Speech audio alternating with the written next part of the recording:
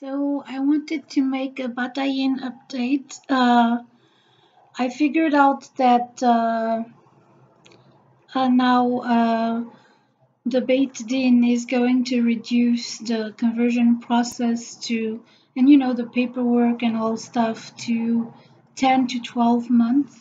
So it's actually a great thing because uh, before it was 15 to 18 months. And uh,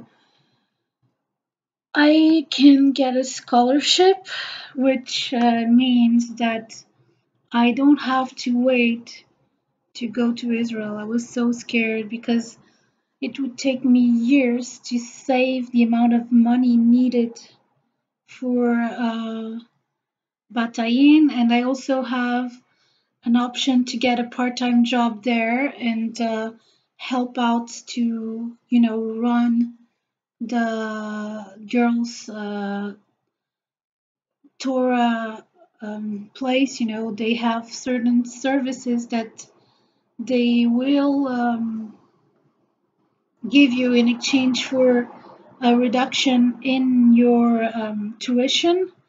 So it's a great thing. That's um, that's really helpful. Also, what I wanted to say, hang on. Um,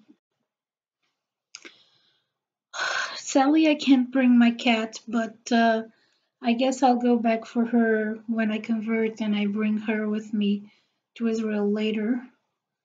But I understand if every single student on campus brought their own pets, it would be um, unmanageable. And so, yeah, I'm giving up on that. There are sad things in my life now, and I just, it's like, I was so happy that I finally you know, got a solution because I've wanted it so long, but I kept on postponing it because I thought that I'd need to save $10,000 and now it turns out I don't need to save the $10,000 because I can get scholarship, I can get um, some work there to help me pay for my tuition. So this is all a big relief. I was so, so like, gosh. So I need need to pay about fifty dollars for opening the process, get a criminal record, my CV, recommendation letters, which is going to be the hardest part because my contact with Jewish people is all online and I don't know how to do that because here I don't have a Jewish community and I don't know how to get to them. So there's that. Um, I can still try to contact the Rabbi Elisha Salas to send me a recommendation letter, although I don't know if he will give it to me. Uh, but I can still try.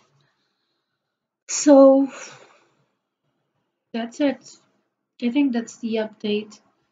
So my course is finishing in September, but since Bat Ayin's classes start in August, I'm going to try and get my internship to finish earlier and see if I can work out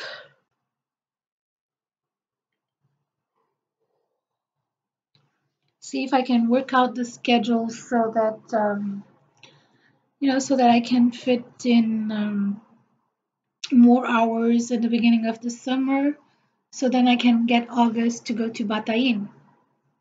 So that's basically it. So now I'm going to be dealing with the paperwork and uh, simply an update. Um, so bye and I'll see you in the next video.